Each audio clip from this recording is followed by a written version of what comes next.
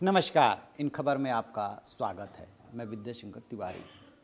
C A A N R C को लेकर के दिल्ली में भड़के दंगे के बाद जिस तरीके से दिल्ली हाई कोर्ट के जज मुरलीधर राव का तबादला किया गया है, उसके बाद ये सवाल उठ रहा है कि क्या उनका तबादला इसलिए किया गया क्योंकि उन्होंने बीजेपी की तीन नेताओं के खिलाफ एफआईआर के आदेश दिए थे। कांग्रेस ने इसको लेकर के तगड़ा वार किया है और सोशल मीडिया पे बाकायदा इसको लेकर के बहस हो रही है कि रातों रात मुरलीधर राव का तबादला क्यों किया गया? इस, इसको लेकर के जब कांग्रेस ने आरोप लगाए बीजेपी और उसकी सरकार पे तो उधर से केंद्र सरकार की तरफ़ से जो मंत्री हैं रविशंकर प्रसाद, उन्होंने इसका जवाब दिया। दरअसल तबादला जो हुआ है, वो तो हुआ है नियम कानून के तहत ही, क्योंकि हाई कोर्ट के जस्टिस का जो तबादला होता है, वो सुप्रीम कोर्ट की जो कॉलेजियम है, उसकी सिफारिश पे किया जाता है। मुरलीधर राव समेत तीन जस्टिस के तबादले को लेकर के कॉलेजियम ने बारह फरवरी को अपनी सिफारिश भेजी थी। ये बात अलग है कि तबादले पे जो सिफारिश की गई थी तबादले को लेकर के, उसमें, उस पर जो अमल हुआ, वो हुआ 26 तारीख की रात को।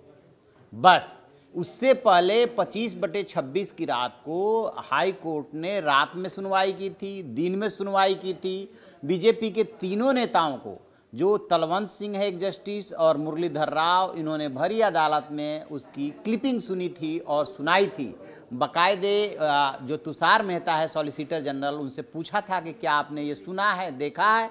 उन्होंने मना कर दिया था तो इसीलिए उसको सुनवाया गया और उसे दिखाया भी गया। फिर ये भी कहा गया कि जो पुलिस अफसर हैं इंक्लूडिंग कमिश्नर उनके तो चे, उस चैम्बर में जो है कई चैनल्स लगे हुए होंगे कई टीवी लगी होगी उसमें उन्होंने देखा होगा। फिर आखिरकार अनुराग ठाकुर प्रवेश वर्मा और कपिल मिश्रा के खिलाफ एफआईआर क्यों नहीं दर्ज की गई? क्यों नहीं कार्रवाई की गई? माना ये जा रहा है कि जो तेईस तारीख को जाफराबाद में खुली सड़क पे धरना देने की कोशिश की गई सीए के खिलाफ। धरना बल्कि दिया गया। उसी के प्रक्रिया स्वरूप जब कपिल मिश्रा अपने दल बल के साथ वहाँ पहुँचे तो फिर उन्होंने वहाँ से निकल करके और मौजपुर में जा कर के ये बयान दिया था कि अभी चूँकि विदेशी मेहमान जो है डोनाल्ड ट्रंप अमेरिकन राष्ट्रपति आ रहे हैं, इसलिए हम दो दिन चुप रहेंगे या तीन दिन चुप रहेंगे, उसके बाद हम पुलिस की भी नहीं सुनेंगे, सड़क खाली करो। अब दूसरी तरफ़ से जो ये तर्क दिया रहा जा रहा है कि इसी के बाद जो है ये दंगा भड़का। 24 और 25 तारीख को डोनाल्ड ट्रंप यहाँ पे थे 24 तारीख को शुरुआत हो चुकी थी और इसकी पृष्ठभूमि तो 23 तारीख को ही बन गई थी। एक पक्ष ये कह रहा है कि कपिल मिश्रा की वजह से दंगा भड़का, जबकि जो सामने हकीकत आ रही है, अभी तक मरने वालों की संख्या सैंतीस और घायलों की संख्या 250 के पार बताई जा रही है। मरने वालों की संख्या बढ़ सकती है, ज़्यादा हो सकती है, क्योंकि 30 लोगों की हालत नाजुक बताई जा रही है। क्या इतने बड़े दंगे को अंजाम बिना तैयारी के, बिना साजिश के दिया जा सकता है? केंद्र सरकार की तरफ़ से गृह मंत्रालय इस तरफ़ इशारा कर चुका है कि बाकायदे इसके लिए साजिश रची गई थी, क्योंकि पाकिस्तान जानता था कि डोनाल्ड ट्रंप की यात्रा के दौरान जिस तरीके से वो कश्मीर में उत्पात मचा सकता है, वो मचाएगा तो सीधे सीधे निशाने पे आ जाएगा। लिहाजा अब की बार उसने उत्पात मचाने का तरीका बदल दिया। दंगे वाले दिन ही ये बात भी आ गई कि इसमें भी पीएफआई कनेक्शन है और शाहीन बाग में जो एक नेता इन्वॉल्व था, यानी कि जो अगुवाई कर रहा था, वही इसमें भी इन्वॉल्व है। फिर दिल्ली के मुख्यमंत्री अरविंद केजरीवाल ने कहा कि नहीं, बाहर से लोग आए थे, लिहाजा यूपी बॉर्डर को सील किया जाए। और उस पर निगरानी रखी जाए। तरह तरह की बातें आई, बट दो ही बातें हैं। क्या कपिल मिश्रा, क्या चुनाव के दौरान अनुराग ठाकुर, प्रवेश वर्मा के बयानों से ये दंगा भड़का या इसकी साजिश पहले से रची गई थी, तैयारी की गई थी, उसके बाद ये सब हुआ, एक बात।